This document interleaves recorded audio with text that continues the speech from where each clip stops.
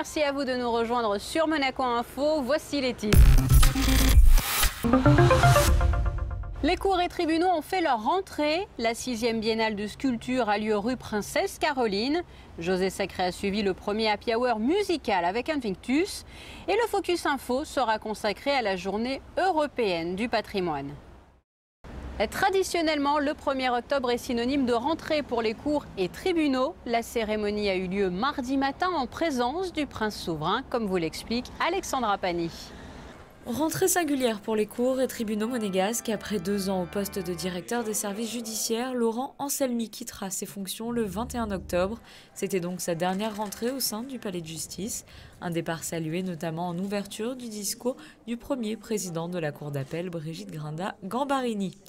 Elle a rappelé également l'importance d'une justice impartiale, indépendante, transparente et efficace une préoccupation primordiale de la part des citoyens, reprise par le procureur général Sylvie Petit-Leclerc, en poste depuis un an ici en Principauté. Aujourd'hui, si vous voulez, les, critiques sont, plus visibles, plus, on les entend davantage, et notamment par le biais des réseaux sociaux. Mais euh, j'ai rencontré toute ma vie euh, des, amis, j'ai cité les amis parce que ça m'est arrivé, où la justice est sans cesse critiquée, parce qu'on a l'habitude de dire, même dans des dossiers, euh, des, litiges personnels, enfin des, petits litiges, vous voulez, il y a toujours un, perdant et un gagnant, et fatalement on n'est pas content. Et ou alors vous êtes victime, bien évidemment la justice ne sera pas assez sévère avec votre agresseur par exemple, ou la personne qui a cambriolé votre domicile, ou au contraire vous êtes le cambrioleur et vous trouvez Donc c'est un exercice très très compliqué et euh, je pense qu'il faut aussi faire abstraction de cela. L'audience solennelle de rentrée, un rendez-vous traditionnel qui a pour vocation de dresser le bilan de l'année écoulée. Un bilan positif avec ce projet de réforme des codes et lois. Autre point d'actualité, la réalisation d'un recueil de principes éthiques et déontologiques applicables aux magistrats des cours et tribunaux pour répondre aux recommandations du Gréco. Et quelques chiffres avec notamment une baisse enregistrée du nombre d'affaires pénales, 1808 pour l'année écoulée contre 1937 pour l'an passé. Mais cette rentrée, c'est aussi l'occasion de mettre en lumière les perspectives et ambitions pour l'année qui démarre. Nous ne sommes que quatre au parquet général que j'accomplis beaucoup de tâches juridictionnelles qui m'ont interdit euh, de, faire un vrai travail de procureur général, ce que j'ai annoncé dans mon discours, c'est-à-dire euh, notamment euh, signer une convention avec l'hôpital, peut-être remettre l'accent aussi sur la maîtrise des, frais de justice, puisque ça coûte extrêmement cher à, la principauté, mais comme les frais de justice coûtent cher à tous les États, si on veut faire un travail, euh, de, qualité, et aussi sur le casier judiciaire dont le fonctionnement euh, doit être euh, remis à la page. Comme le veut la tradition, durant cette rentrée solennelle, un orateur fait part de sa réflexion sur un sujet de son choix. Cette année, il s'agit d'un magistrat de la Cour de révision, professeur de droit, François-Xavier Lucas. Il s'est intéressé au traitement de la faillite en droit monégasque. Prochain événement important au sein des services judiciaires, l'arrivée du nouveau directeur Robert Génie le 21 octobre prochain. Culture à présent avec cette exposition en plein air rue Princesse Caroline organisée dans le cadre de la Biennale de sculpture de Monaco. Fabien Bonia et Orazio Gaggino ont suivi le vernissage pour vous. Des coquelicots, une fusée, un cheval, des esclaves ou encore au hasard des manchots sur un iceberg. Voici quelques sculptures à ciel ouvert que l'on peut découvrir en allant dans la rue Princesse Caroline.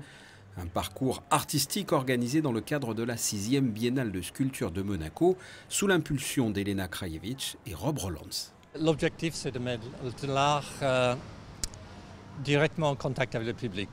Le public semble peut-être étonné, émerveillé, peut-être choqué, mais l'idée, c'est de mettre de l'art en dehors des musées, en dehors des galeries, pour que le public le voit et apprécie, j'espère. Trouve un peu de poésie, un peu d'interrogation, euh, un peu de questionnement. Cette biennale de sculpture a vu le jour il y a dix ans. Artistes en mouvement a été créé dans le but d'investir des lieux non destinés à l'art, avec cette année un thème bien particulier, le monde marche sur la tête.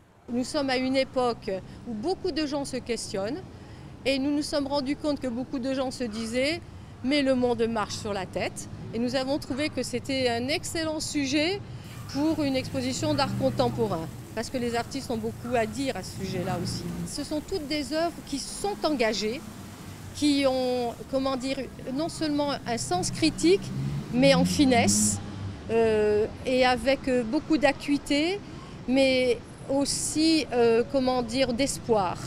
Les œuvres de 14 artistes contemporains ont été réunies dans la rue Princesse Caroline. Ils viennent de Monaco, de France, de Belgique, de Pologne, d'Italie ou encore d'Allemagne. Pour découvrir cette exposition à ciel ouvert, vous avez jusqu'au 26 octobre. De la musique à présent et avec José Sacré, puisque José a suivi le premier Happy Hour musical de l'année avec l'Orchestre Philharmonique de Monte-Carlo. Voyons son reportage.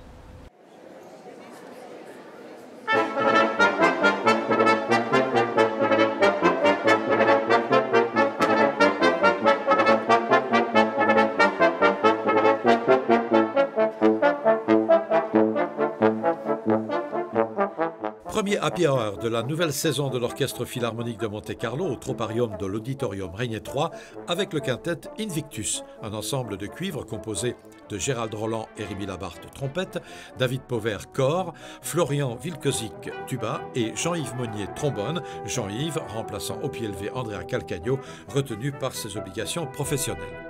On a commencé en 2016, si je ne te dis pas de bêtises, je crois que c'est ça, ça fait 3-4 ans. Euh, sur mon initiative, j'en ai parlé avec Gérald, avec Rémi, avec euh, Florian et puis euh, Andrea. Et ils étaient tous super motivés pour faire cet ensemble. Et voilà, c'est une comme ça. Notre premier concert, on l'avait fait en Happy Hour il y a déjà deux saisons.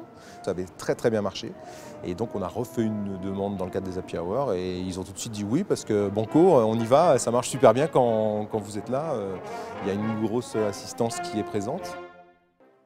Que vous apporte cet ensemble par rapport à votre travail quotidien avec l'Orchestre Philharmonique de Monte-Carlo Le répertoire, c'est très large. Hein. Ça peut être de la musique baroque, Handel, Bach, jusqu'aux musiques d'aujourd'hui, musique populaire, musique traditionnelle.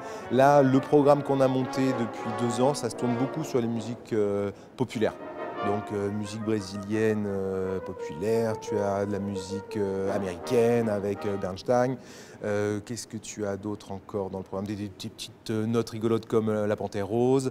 Enfin voilà, quelque chose qui est vraiment hyper accessible pour tous les publics.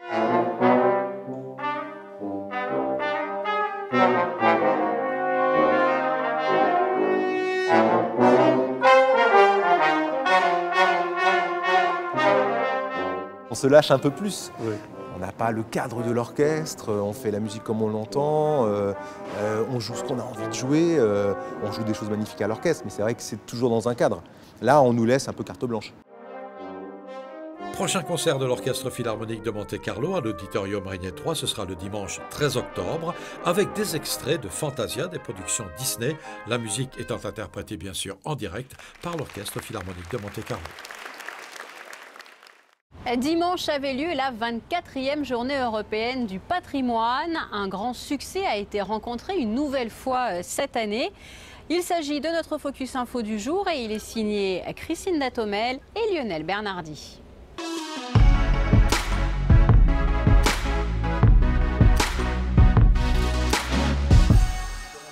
Journée qui célébrait les arts et le divertissement. Ce ne sont pas moins de 40 sites qui ont ouvert leurs portes pour faire découvrir et promouvoir le patrimoine monégasque. Cirque, théâtre, ballet, art, de nombreuses facettes qui contribuent au rayonnement de la principauté ont été dévoilées au public et situées au Gildo Pastor Center.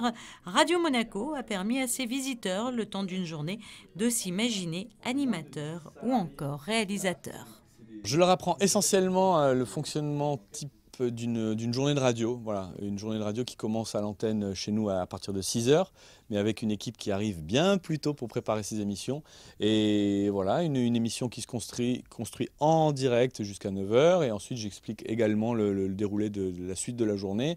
J'explique aussi, il y a beaucoup de questions sur les choix musicaux, comment on réalise une sélection musicale, une playlist euh, en radio.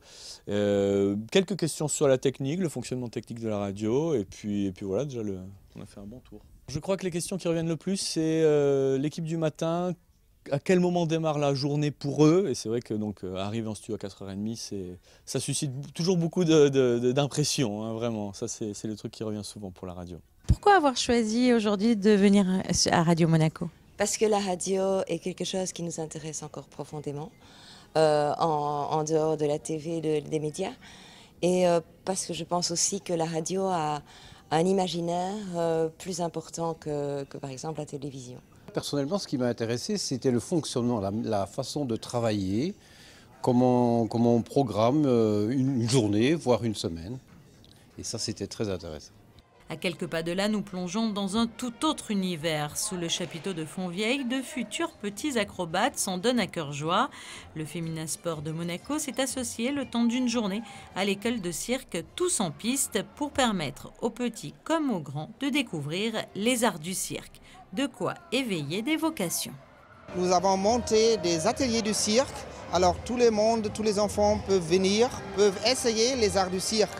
Pourquoi ici? Parce que le chapiteau de Fontvieille, c'est depuis 45 ans la cathédrale des arts du cirque.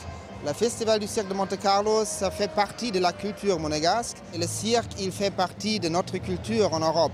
ça fait 250 euh, ans. C'est en fait en 2018 qu'on a fêté ici à Monaco lors du 43e Festival du cirque l'anniversaire du cirque, 250 ans. Mais dans ces 250 ans, le cirque a beaucoup évolué, comme tous les arts. Il s'est mélangé avec le théâtre, avec le ballet, avec la danse. Et aujourd'hui, on voit ici des futurs artistes du cirque. La future, on peut aussi dire, de notre profession.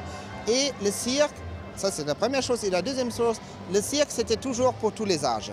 C'est pour les enfants, pour les adultes, pour les grands-parents. C'est le seul spectacle de divertissement qui est ouvert à toute la famille. Et très important que les enfants, bien sûr, ils aiment les clowns, ils aiment les dresseurs, ils aiment le cirque. Et ici, ils peuvent voir euh, beaucoup de possibilités en France aussi. Qu'est-ce que c'est une école de cirque? Ça fait de plus en plus moderne que dans les, dans les vraies écoles, ils font des écoles de cirque l'après-midi pour faire quelques apprentissages dans le jonglage, dans la comédie, dans l'équilibre. Et ici, on voit, c'est un peu un avant-goût, on peut dire, de cette école de cirque ici de la région et aussi de Femina Sport à Monaco.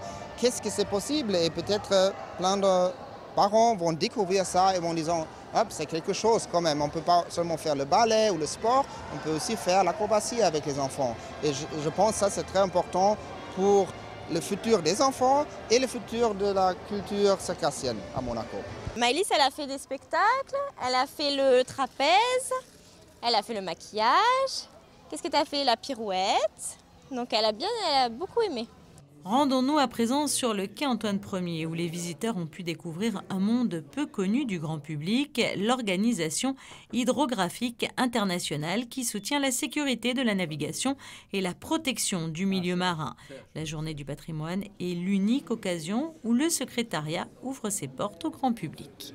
Une présentation déjà de l'organisation euh, un tour rapide pour expliquer pourquoi elle est basée à Monaco grâce à, l'invitation du prince Albert Ier. Et après, on fait un petit peu le tour des locaux. Et par la suite, une petite présentation pour essayer de se coupler au thème art et divertissement, et pour montrer que dans le passé, effectivement, les cartes, c'était aussi, euh, il y avait une vision artistique au niveau des cartes. Les questions les plus redondantes, c'est peut-être aussi la profondeur, euh, quelle est la profondeur maximale qu'on trouve, euh, et après aussi au niveau de l'organisation, si elle est basée à Monaco, le pourquoi, et s'il y a d'autres euh, comment dire, organisation dans le monde, tout ça et tout, enfin des, questions un petit peu euh, ordinaires. À quelques mètres de là, un autre site peu connu du grand public, lui aussi, le Centre scientifique de Monaco, ouvert à la recherche dans le domaine biomédical. Le centre consacre aussi une grande partie de ses activités à la protection de la vie marine. On travaille ici en fait sur des aspects à la fois environnementaux et de santé humaine. C'est vrai que les gens sont très curieux finalement des résultats de la recherche.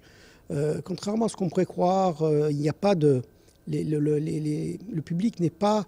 Euh, est très curieux de, l'activité du chercheur. Qu'est-ce qu'on peut faire et comment ce qu'on peut faire peut améliorer notre futur?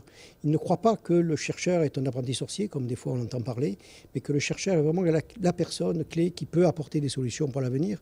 Et donc les questions majeures, c'est ben, qu'est-ce que, que va devenir l'environnement Que peut-on faire Que peut-on trouver comme solution pour euh, améliorer la situation, mais également ben, comment peut-on guérir euh, les maladies. Les gens euh, visitent les trois départements, hein, après une petite introduction, ils visitent les départements de biologie polaire, donc voir comment on suit 20 000 manchots en continu, puis le département de biologie marine avec les équipements et aussi nos aquariums.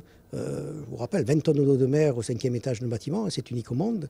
Et puis une équipe parmi nos diverses équipes de biologie médicale en particulier pour parler des cancers pédiatriques, hein, comment on peut arriver à trouver de nouveaux traitements, qu'est-ce qui caractérise une cellule cancéreuse et comment on peut cibler ses particularités pour trouver de nouveaux médicaments. Autre lieu, autre univers. Les élèves du pavillon Beauzieux ont donné vie à des costumes sortis tout droit de leur imaginaire. Après avoir défilé à l'occasion de cette journée dans la cour de la mairie, une parade a ensuite été organisée dans les rues de Monacoville à la surprise des passants. Quelle est cette étrange créature? Alors c'est à la fois un médecin, c'est à la fois un carnaval de, un masque de carnaval, c'est à la fois un, personnage étrange puisqu'on est dans une forêt un peu métaphorique, euh, imaginaire, qui a été imaginée par une, par une ancienne étudiante. Et si le patrimoine présente des formes très diverses, l'événement cette année aura permis au public de découvrir ou de redécouvrir de nouvelles facettes du patrimoine, celles des arts et du divertissement. Voilà pour l'essentiel de l'actualité ce soir. Passons à présent à vos prévisions météo.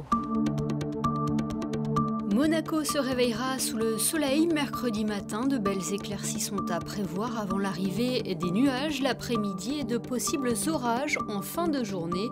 Les températures seront comprises entre 18 et 22 degrés. Les prévisions météo seront meilleures jeudi avec un franc soleil, peu de vent et un mercure stationnaire. Les nuages viendront gâcher cet effet de beau temps. Vendredi, ciel variable et température en baisse. Belles éclaircies samedi dans le ciel monégasque avant une dégradation passagère dimanche. Et puis du soleil pour le début de semaine prochaine malgré un risque de pluie en soirée. En revanche, nous perdrons quelques degrés au thermomètre.